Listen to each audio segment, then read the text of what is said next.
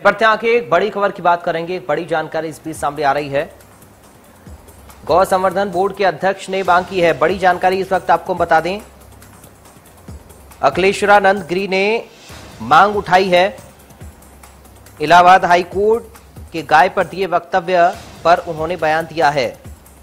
गाय को राष्ट्रीय पशु, नहीं, राष्ट्रीय प्राणी घोषित किया जाए।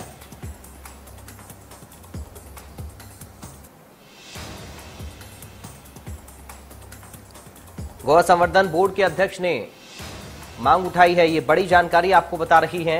अखिलेश्वरानंद गिरी ने मांग उठाई है। इलाहाबाद हाईकोर्ट के गाय पर दिए वक्तव्य के बाद उन्होंने ये मांग उठाई है। अभी हाल ही में उत्तर प्रदेश के उच्च न्यायालय के द्वारा गोवंश से संबंधित एक अत्यंत महत्वपूर्ण निर्णय के संदर्भ में सम्माननीय जजों के द्वारा जो टिप्पणी की गई है, वो बड़ी महत्वपूर्ण है। उन्होंने कहा कि गाय भारतीय संस्कृति का अभिन्न हिस्सा है और वो आस्था का विषय भी है।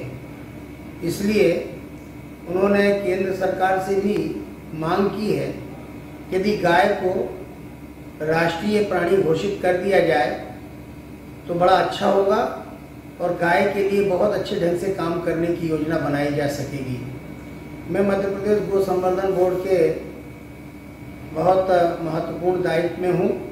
मेरी भी भावना इन सब बातों से जुड़ती है और इसलिए मैं भी मांग करता हूँ कि निश्चित रूप से गाय को राष्ट्रीय प्राणी